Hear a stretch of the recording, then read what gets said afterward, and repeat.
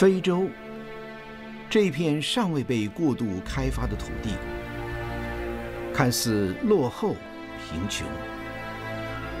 其实它却充满了旺盛的生命力，也充满了各种挑战。在这片陌生的土地上，有一位我们的同胞，默默的行脚，默默耕耘了二十年。一位出世的宗教家，展现极入世的关怀，悲天悯人的心肠。他，就是慧理法师。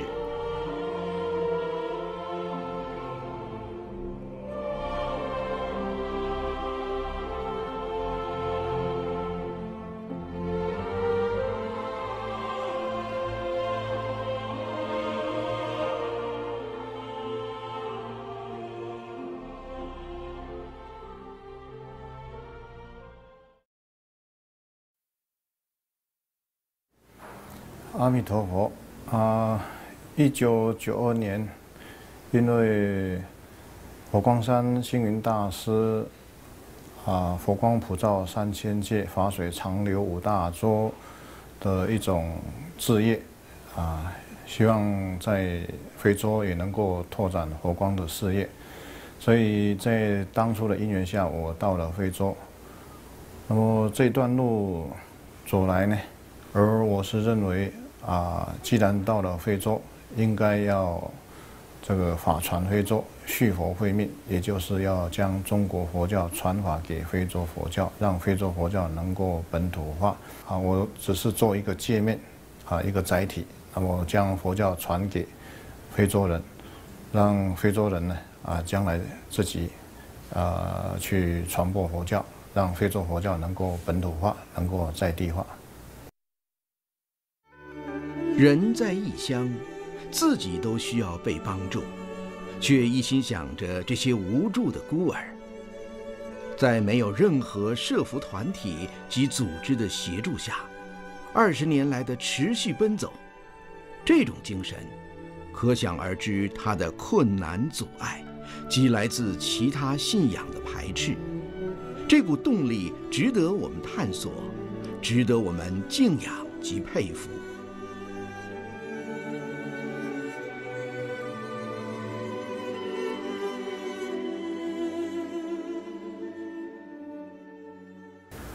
阿弥陀佛关怀中心，简称 ACC。那么 ACC 其实很简单的分成两大部分，一个是募款的部分，一个是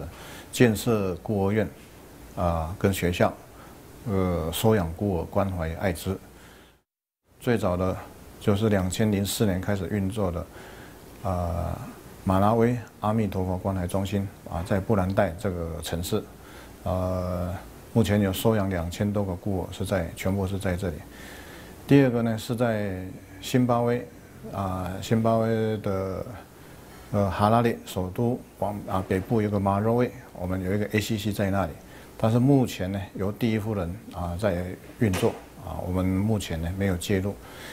第三个呢是在赖索托，啊，赖索托的马菲汀啊有一个啊阿弥陀佛关怀中心，啊，目前呢。呃，有几十个孤儿，呃，这个持续在在增加孤儿的收养量。呃，再来第四个就是斯瓦季兰的 ACC，收养孤儿啊，这个关怀关怀艾滋的部分，目前有四个国家。接下去呢，明年就是在纳米比亚，在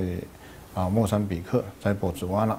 啊，在其他国家呢陆续来开办。慧理法师的精神，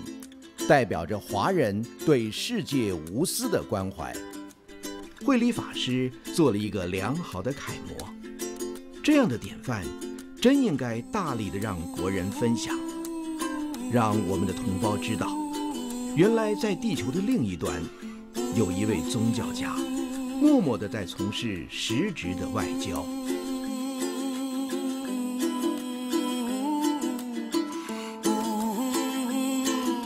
阿弥陀佛关怀中心呢，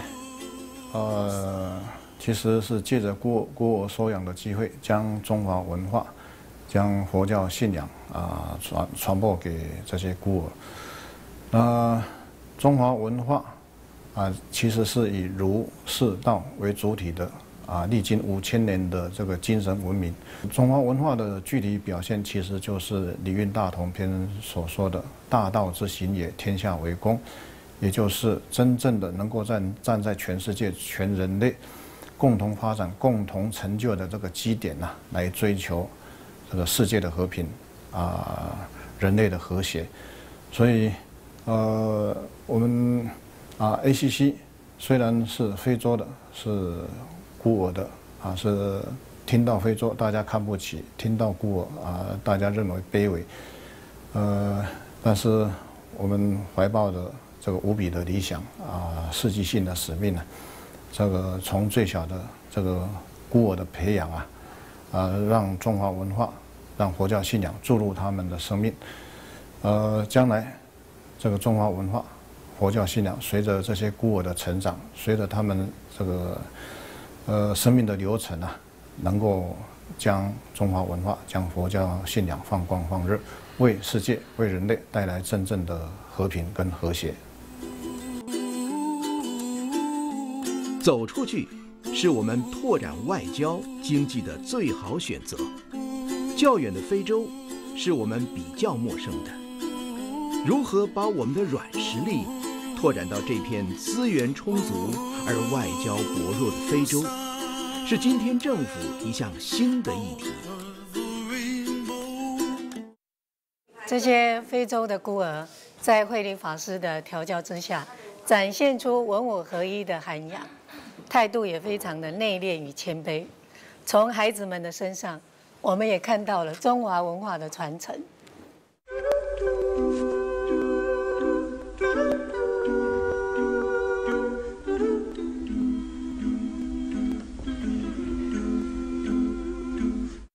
这个现在的贫穷，不不代表永远的贫穷，啊，而是代表啊我们。这个去发展的一个机会啊，那我们观察到呢，三十年前，啊，东欧、印度、中国、中南美，啊，都还在非常落后的阶段，但是现在他们已经逐渐都站起来了。呃，如果再给他们二十年到三十年呢，当所谓的东欧、印度、中国，啊，中南美都完全发展起来的时候。全世界的资金绝对剩下一个出口，就是非洲。当全世界的资金都涌向非洲的时候，其实我们想再进去也就很难了。呃，就好像现在我到非洲去发展孤儿院，说穿了，也就是因为他穷，我才有机会啊。啊，因为他还没发展啊完成啊，这个我被村卡出去啊啊，我才有很多的这个机会啊。所以企业的发展。我相信呢，也就是因为他穷，啊，因为他还没发展完成，所以啊，也让企业家呢，应该有很多的机会在那里。二十年默默的奉献付出，受到非洲许多国家的赞誉和支持，赢得当地人民的敬重，成为民间慈善外交的典范。绝望。悲伤、贫穷，不再是非洲唯一的颜色，因为丰富的资源、低廉的劳工，正是中小企业走向第三世界的第一站，也是我们拓展外交和经济的最好选择。